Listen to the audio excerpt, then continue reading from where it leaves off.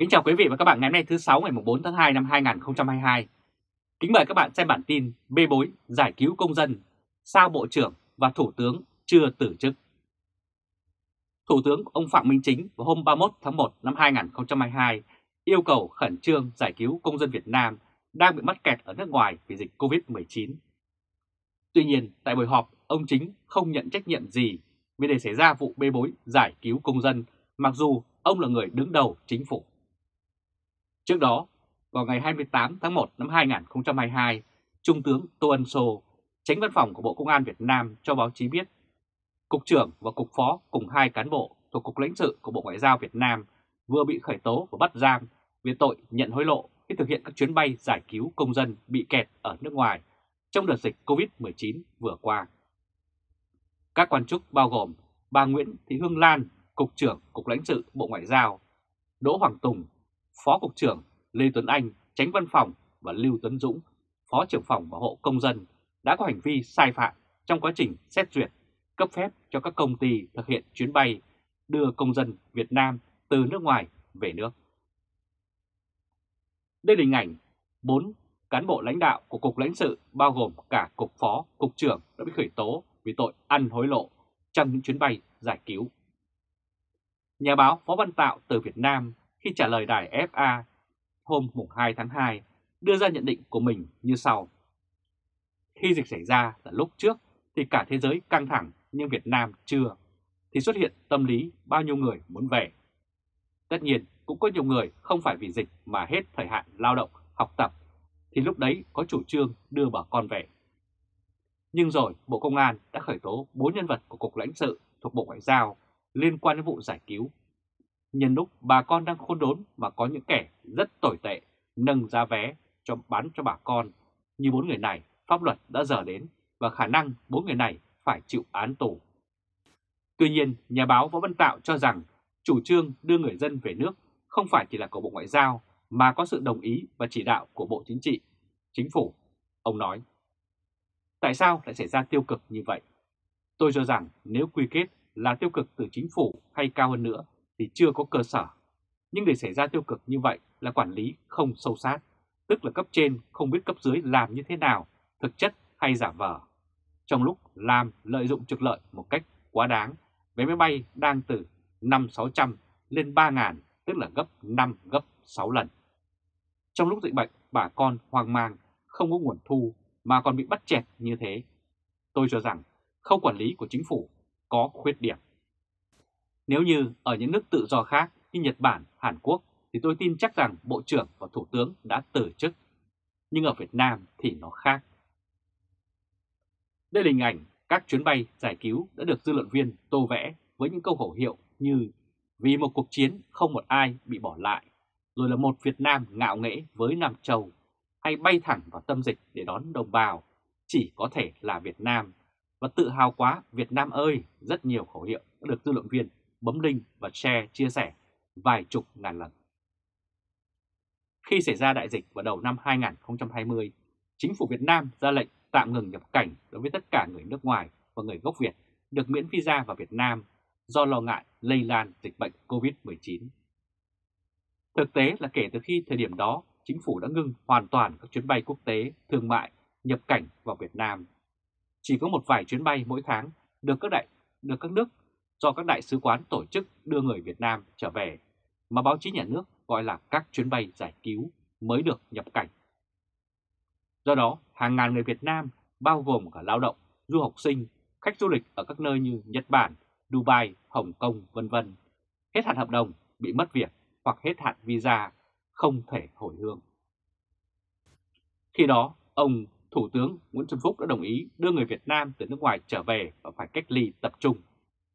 Bộ Ngoại giao cho biết trong 2 năm qua, Việt Nam đã tổ chức khoảng 800 chuyến bay để giải cứu đến 60 vùng lãnh thổ. Tuy nhiên, tất cả những người mà Đài Á Châu Tự Do phỏng vấn khi đó cho biết là rất khó khăn để có thông tin về lịch trình hay các chuyến bay về Việt Nam. Đây là hình ảnh vài tháng gần đây người Việt Nam đã bay về luôn chọn quá cảnh qua Campuchia mặc dù đi qua đường này chuyến bay phải mất rất nhiều thời gian nhưng tránh được cái giá cắt cổ Thực tế, hai năm qua, nhiều chuyến bay giải cứu đã về đến Việt Nam, những người phải trả giá vé máy bay và chi phí cách ly rất cao, thậm chí gấp nhiều lần giá trị thực tế. Theo phản ánh của nhiều người dân đã được báo chí trong nước loan tin, giá vé một chiều giải cứu người về từ Mỹ và Canada đã lên tới từ 52 đến 58 triệu đồng một vé, tức là cao gấp đôi, gấp 3 mức giá thông thường. Đó là chưa kể thủ tục giấy tờ dườm già, người về nước dù đã tiêm đủ vaccine cũng vẫn phải cách ly. Theo phản ánh của người Việt Nam tại Mỹ thì chi phí cách ly là khoảng 500.000 đồng mỗi phòng mỗi người chỉ có bữa sáng hay đến 1,5 triệu đồng mỗi phòng mỗi người có 3 bữa. Trả lời đài FA từ nước Đức vào hôm 2 tháng 2, luật sư nhân quyền Nguyễn Văn Đài đưa ra nhận định của mình như sau. Chuyện liên quan các đại lý bán vé máy bay, các tòa đại sứ sau này là cục lãnh sự đã lùm xùm từ giữa năm 2020. Lúc đó tôi có viết bài cảnh báo tình trạng này, nhưng mà đến bây giờ phát hiện chuyện cục lãnh sự cấu kết để nâng giá vé chặt chém người Việt Nam có nhu cầu trở về nước trong 2 năm qua. Đây là hình ảnh Cục trưởng Cục lãnh sự Nguyễn Thị Hương Lan được tặng bằng khen của Thủ tướng Chính phủ cho tập thể cá nhân xuất sắc trong công tác bảo hộ công dân và chống dịch. Nhưng khi phát hiện ra như vậy thì đã quá muộn vì đã có khoảng 200.000 người bị bóc lột hết sức tàn tệ. Giờ đây đáng lẽ họ phải sửa chữa sai lầm, nhưng ông Phạm Minh Chính lại đưa ra một chính sách sai lầm tiếp. Đó là không tiếp tục sử dụng các hãng hàng không trong nước để đưa công dân trở về mà ông lại cấp phép cho các hãng hàng nước ngoài. Trong khi ba hãng hàng không Việt Nam là Bamboo Airways, Vietjet Airways và Vietnam Airlines, Airways cũng đang gặp khó khăn khi thiếu vắng đường bay và hành khách. Mà bây giờ cho nước ngoài bay thì hãng trong nước sẽ khó khăn hơn rất nhiều. Theo luật sư Nguyễn Văn Đài, chính sách cũ của Việt Nam đã sai lầm, thì bây giờ chính sách mới còn sai lầm hơn. Không những làm hại các hãng hàng không của Việt Nam mà còn hại cả người dân Việt Nam. Cho đến ngày 1 tháng 2 năm 2022, Bộ Giao thông Vận tải đã ban hành quy định người mang quốc tịch Việt Nam ở nước ngoài muốn về nước từ nay sẽ không phải trải qua bất kỳ xét duyệt nào mà chỉ cần tuân thủ các quy định về phòng chống dịch. Đây là hình ảnh trạm xe buýt gần cửa khẩu quốc tế Ba Vét của Campuchia. Bên kia là cửa khẩu Mộc Bài, Tây Ninh. Người Việt có thể đi xe bút từ Nông Penh về đến đây, mức giá chỉ có 6 đô la. Bộ này cũng đồng ý với các hãng hàng không được phép bán vé cho tất cả công dân Việt Nam ở nước ngoài về nước. Cục Hàng không Việt Nam ngay sau đó cũng thông báo việc cấp phép ngay cho các hãng hàng không để chở công dân về nước trên các chuyến bay thường lệ và không thường lệ mà không hề yêu cầu bất kể về xét duyệt các văn bản nhân sự nào cả. Cũng theo Bộ Ngoại giao Việt Nam, hiện còn rất nhiều công dân Việt Nam mắc kẹt tại nước ngoài do dịch COVID-19. Tại khu vực Trung Đông và Châu Phi có hơn 600 người Việt Nam vẫn chưa thể về. Nêu vấn đề vì sao Bộ trưởng hay Thủ tướng chưa từ chức sau vụ bê bối giải cứu công dân bị phát hiện, thì Facebook Trần Công Hà viết như sau. Ở các nước dân chủ khi tranh cử, các ứng cử viên của vị trí muốn tranh cử phải có một chương trình hành động cụ thể. Nếu đắc cử thì phải thực hiện theo chương trình hành động đã hứa với cử tri. Nếu không thực hiện được chương trình đó như lời hứa, thì người đó sẽ từ chức hoặc bị buộc phải từ chức. Ở Việt Nam, đảng cử ra ông này là bí thư, ông này là chủ tịch, ông này là bộ trưởng vân vân. Sau đó đem về cơ sở hướng dẫn dân bầu theo chỉ đạo của đảng, buộc phải trúng. Khi đắc cử, việc đầu tiên là tạo ekip và vẫn chuẩn bị một nhiệm kỳ vơ vét để bù đắp lại tiền vốn đã đầu tư. Hai từ liêm sỉ không hề có trong bộ nhớ của Đảng Cộng sản. Đã không có liêm sỉ thì làm gì có văn hóa tử chức. Kính mời các bạn xem bản tin thấy gì qua vụ án ở Cục lãnh sự, kiếm ăn trên xương máu đồng bào. Bốn cán bộ thuộc Cục lãnh sự Bộ Ngoại giao vừa bị khởi tố và bắt giam về tội nhận hối lộ khi thực hiện các chuyến bay giải cứu công dân bị kẹt ở nước ngoài trong 2 năm dịch COVID-19 vừa qua. Nhiều ý kiến chỉ trích nặng nề, mỉa mai rằng cán bộ nhà nước dùng những từ ngữ cao đẹp như các chuyến bay giải cứu, chuyến bay nhân đạo, nhưng thực chất là lợi dụng dịch bệnh, tình cảnh khó khăn của người dân Việt Nam ở nước ngoài để trục lợi, kiếm ăn trên sự đau khổ của chính đồng bào mình. Trung tướng Tô Ân Sô, tránh văn phòng Bộ Công an Việt Nam công bố vào hôm 28 tháng 1 rằng những người này đã có hành vi sai phạm trong quá trình xét duyệt cấp phép cho các công ty thực hiện chuyến bay đưa công dân Việt Nam từ nước ngoài về nước nhằm trục lợi cá nhân. Bốn người bị khởi tố và bắt giam bao gồm bà Nguyễn Thị Hương Lan, Cục trưởng Cục lãnh sự của Bộ Ngoại giao, ông Đỗ Hoàng Tùng, Cục Phó, ông Lê Tuấn Anh, tránh văn phòng của Cục và ông Lưu Tuấn Dũng, Phó phòng Bảo hộ Công dân của Cục. Đây là hình ảnh bốn cán bộ, lãnh đạo Cục lãnh sự bao gồm cả Cục Phó, Cục trưởng bị khởi tố vì ăn hối lộ trong những chuyến bay giải cứu. Kiếm tiền trên xương máu của đồng bào. Ông Hoàng Hùng là admin của nhóm Tôi và Sứ Quán với gần 40.000 thành viên, hầu hết là người Việt Nam sinh sống, làm việc và học tập ở nước ngoài. Ông đã theo dõi sát tình trạng công dân Việt Nam đang gặp khó khăn để tìm đường về nước và cũng đã nhiều lần gửi kiến nghị cho các cơ quan chức năng có thẩm quyền liên quan. Nhưng tất cả đều không được hồi đáp trong suốt 2 năm qua. Ông Hùng cũng nêu ra quan điểm với Đài Á Châu Tự Do cho rằng đến bây giờ mới bắt đầu bắt giam và khởi tố vụ án là khá chậm trễ. Nhưng dù sao, chậm cũng còn hơn không. Theo ông, tình trạng trục lợi từ các chuyến bay đưa công dân Việt Nam về nước đã xảy ra từ 2 năm nay. Trên diễn đàn Tôi và Sứ Quán đã có rất nhiều lời kêu cứu rằng họ phải trả giá vé bay cao ngất ngược mới về nước được. Rất nhiều người Việt mà người thân mất hay người thân đau ốm có những trường hợp như thế mà không thể về được. Có những trường hợp phải mua vé đến tận 8.000 đô la để mà về Việt Nam một chiều. Và theo số tôi tính toán, mỗi một chuyến bay như thế họ sẽ bỏ túi vào khoảng từ 100 đến 200 ngàn đô la và họ chia chác với nhau. Họ làm trên xương máu của đồng bào trong mùa đại dịch.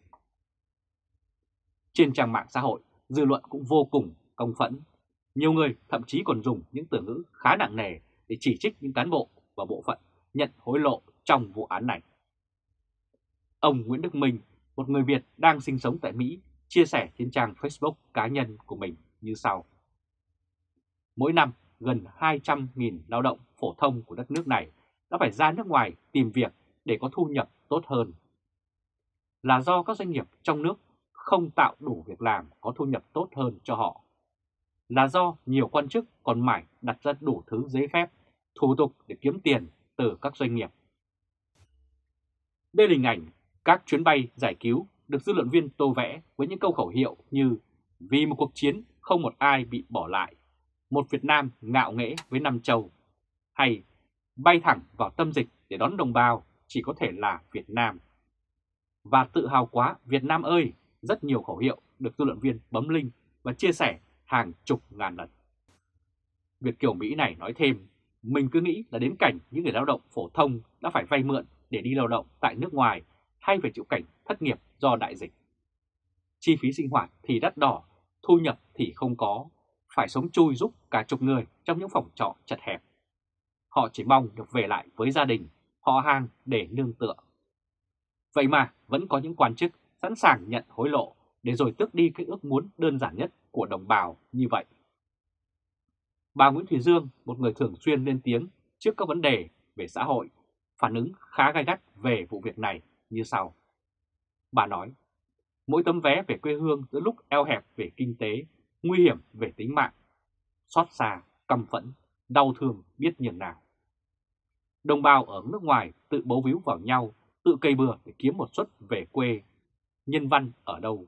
Giải cứu chỗ nào? Ngạo nghễ đón ai? Hay chỉ là cuộc bán mua sòng phẳng, thậm chí là giá cao? Thiêng liêng hai tiếng đồng bào bao nhiêu thì kiếm ăn trên nỗi sợ hãi của đồng bào càng man dợ bấy nhiêu. Người Việt mắc kẹt cũng kêu cứu khắp nơi. Từ tháng 3 năm 2020, do ảnh hưởng của đại dịch COVID-19, chính phủ Việt Nam đã phải tạm ngừng nhập cảnh đối với tất cả người nước ngoài và người gốc Việt được miễn visa vào Việt Nam. Bên cạnh đó, Việt Nam cũng ngưng toàn bộ các chuyến bay quốc tế và thương mại nhập cảnh. Chỉ có một vài chuyến bay mỗi tháng tại các nước do Đại sứ quán tổ chức và đưa người Việt Nam trở về, mà báo chí nhà nước gọi là các chuyến bay giải cứu hay gọi là chuyến bay nhân đạo. Điều này dẫn đến tình trạng hàng ngàn người, bao gồm có công nhân, lao động phổ thông, du học sinh mất việc làm hoặc hết hạn visa ở các nước như Đài Loan, Nhật Bản hay Dubai vân vân phải lên mạng kêu cứu vì không thể hồi hương trở về. Đây là hình ảnh nhóm tôi và sứ quán có 38.000 thành viên, nơi phản ánh nhiều bức xúc của người dân Việt Nam ở hải ngoại khi tiếp xúc với sứ quán Việt Nam ở nước ngoài. Ông Hoàng Hùng cho biết thêm, ngay khi Việt Nam ra lệnh hạn chế nhập cảnh, ông đã đăng một số bài viết nhằm cảnh báo và gửi kiến nghị cho Cục lãnh sự, nói rằng nếu không giải quyết vấn đề chuyến bay hồi hương cho công dân Việt Nam, có thể sẽ gây ra nhiều hệ lụy mang tính chất nhân đạo cho người Việt bị mắc kẹt ở nước ngoài. Nhưng tất cả những lời kiến nghị của ông Hùng đều rơi vào im lặng trong suốt 2 năm qua, cho đến ngày các quan chức ngành ngoại giao bị bắt. Tìm được vé trên các chuyến bay nhân đạo, nhiều người đã phải tự tìm ra cách chủ động về Việt Nam thông qua các cửa khẩu đường bộ với Lào hay Campuchia. Hành trình này hoàn toàn hợp pháp nhưng không hề dễ dàng. Nó tốn kém thời gian và công sức hơn rất nhiều so với việc bay thẳng về nước. Vào ngày 31 tháng 1, ông Thủ tướng Chính phủ Việt Nam Phạm Minh Chính đã phải phát biểu tuyên dương lực lượng công an đã nắm chắc tình hình, phát hiện, khởi tố điều tra vụ án xảy ra tại Cục lãnh sự của Bộ Ngoại giao. Một số nạn nhân từng phải mua vé giá cao và người quan sát vụ việc này đã nói với đài FA rằng một mình Cục lãnh sự không thể lộng hành như thế trong suốt 2 năm qua. Và câu hỏi đặt ra là vì sao phòng vé dịch vụ lại có vé như vậy? Có sự tiếp tay của nhân viên sứ quán hay không? Đó là những vấn đề cần được mở rộng điều tra. Và cuối cùng thì người dân phải mua với giá vé bị đội lên rất cao, thậm chí lên đến 10 lần. Trở lại thời điểm từ đầu năm 2021, nhu cầu về nước của công dân Việt Nam từ khắp nơi trên thế giới tăng cao mà số lượng chuyến bay giải cứu lại rất ít. Mỗi nước chỉ có 2-3 chuyến bay mỗi tháng, do đó chính phủ Việt Nam bắt đầu mở lại một số các chuyến bay, tức là thuê nguyên chuyến bay. Những chuyến bay này do các đơn vị tổ chức đứng ra xin công văn cho phép nhập cảnh về Việt Nam, sau đó thuê máy bay rồi quảng báo bán vé cho những người có nhu cầu về nước. Những chuyến bay như vậy không cần đăng ký với Sứ quán Việt Nam, không phải chờ đợi quá lâu, bù lại giá vé máy bay và chi phí cách ly khi về Việt Nam bị đội lên rất cao. Đây là hình ảnh ông Cục trưởng Cục lãnh sự, ba Cục trưởng Cục lãnh sự Nguyễn Thị Hương Lan được tặng bằng khen của Thủ tướng Chính phủ cho tập thể cá nhân xuất sắc trong công tác bảo hộ công dân chống dịch. Ông Nguyễn Sĩ đang ở Đài Loan kể câu chuyện của mình với Đài Á Châu Tự Do rằng cả hai vợ chồng ông xuất khẩu lao động sang Đài Loan làm việc. Hồi cuối năm ngoái, vợ ông Sĩ hết hạn hợp đồng và mang thai nên cần được về Việt Nam. Cả hai đăng ký chuyến bay nhân đạo với Văn phòng Kinh tế Văn hóa Việt Nam ở Đài Bắc.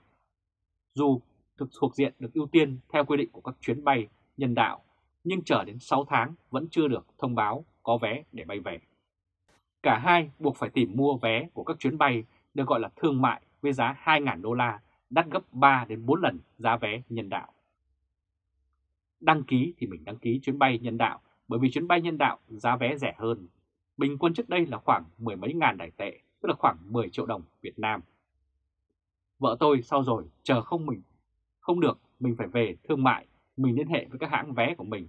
Một vé như vậy là khoảng 49 cho đến 56 ngàn đài tệ cho một vé thương mại. Còn ông Linh hiện đang Cộng hòa Séc cho biết ông về Việt Nam vào hồi tháng 11 năm ngoái với giá vé là 2.000 euro, so với giá gốc chỉ từ 1.000 đến 1.400 euro mà thôi. Ông cũng đăng ký với sứ quán để mua vé giá rẻ, nhưng không được trả lời.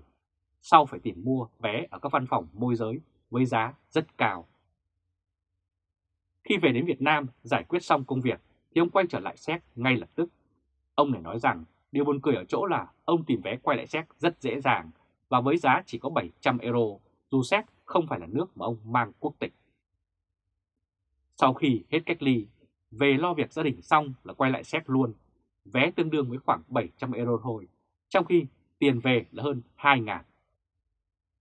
Còn chiều sang Séc thì chỉ gọi điện thoại trước một hai hôm, giá vé đấy chấp thuận được, chứ không có đắt, chỉ có Việt Nam nhà mình ở châu Âu thì mới bị chặt chém như thế mà thôi. Đây là hình ảnh người Việt bay về Việt Nam luôn chọn quá cảnh qua Campuchia mặc dù có tiền bởi các chuyến bay giải cứu có giá cao cắt cổ. Cần mở rộng điều tra hệ thống chân rết của Cục lãnh sự ở nước ngoài. Ông Linh cũng tỏ ra vui mừng trước thông tin các Cục lãnh sự Bộ Ngoại giao bị bắt vì nhận hối lộ. Ông nói cần phải phanh phui tất cả những người khác còn liên quan trong vụ án này. Mình chỉ biết là bắt là mình hoan nghênh, mình vui mừng và mong nhà nước là phải phanh phui tất tần tật ra, chứ không phải chỉ có những người đó. Nó là cả một đường dây, cả một hệ thống. Rất nhiều người liên quan đến vụ ấy, từ trên xuống dưới, ai cấp phép họ làm những việc như thế, rồi tất cả những người có liên quan, kể cả những phòng vé máy bay, tại sao họ lại có được xuất vé để bán cho những người cần về. Ông Hoàng Hùng cho biết, ông đang kêu gọi các nạn nhân hãy gửi đơn tố cáo về việc đã từng bị buộc mua vé về nước với giá cao gấp nhiều lần giá gốc, đồng thời đề nghị cơ quan hữu trách giải quyết điều tra rõ ràng, đưa những kẻ lừa đảo tiền ra tòa và trả lại tiền cho nạn nhân. Theo ông Hùng, vụ án này cần phải được mở rộng điều tra ra các cơ quan đại diện Việt Nam ở nước ngoài, bởi vì hiện giờ còn quá nhiều điều cần được làm rõ.